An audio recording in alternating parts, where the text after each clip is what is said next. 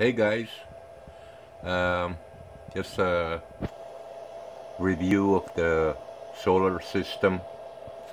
It's 10.30 in the morning and it's kind of overcast.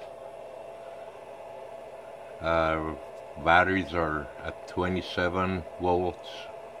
I'm using 4 amps. We have about 32 amps coming in and it's absorbing. Uh, I'm sorry it's in the bulk mode.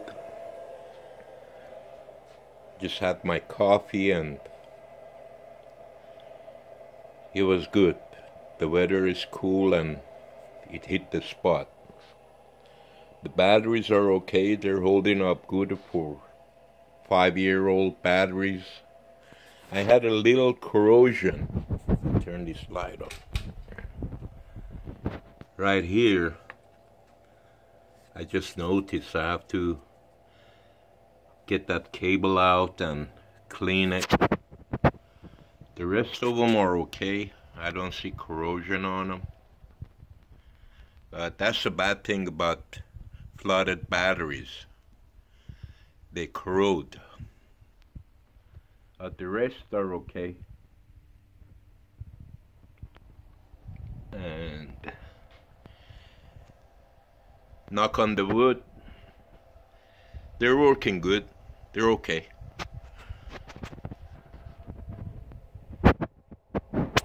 Again here's a DC voltage we're trying 4 amps and that's the amps coming in.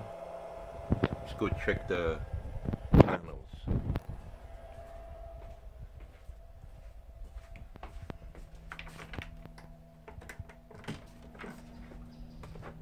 here. We got patchy clouds just opened up.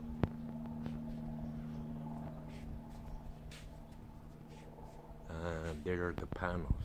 They're dirty. I have to get up there, clean them, but the weather forecast said it may rain this weekend, so I hold off on it.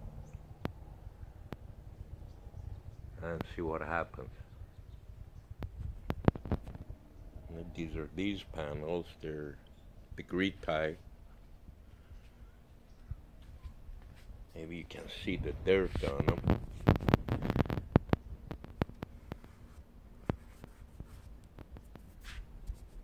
they're pretty dirty. We get the moisture in the morning and then the dust and dirt and all the stuff and such from the fires comes and sticks them.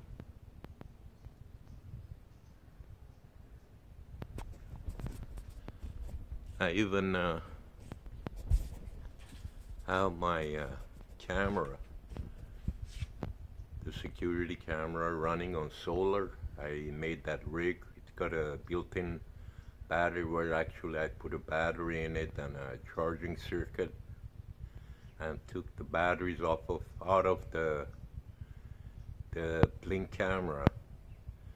And so far it's been working good.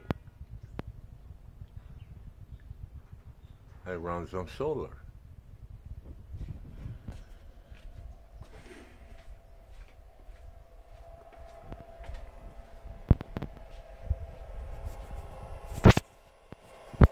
Okay let me go to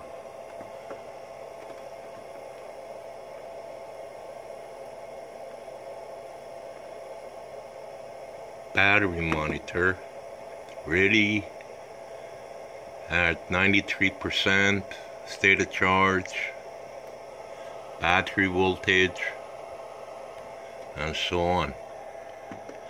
So we're doing okay. I'm glad those batteries lasted five years.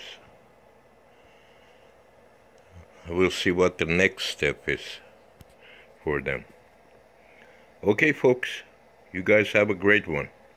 Later.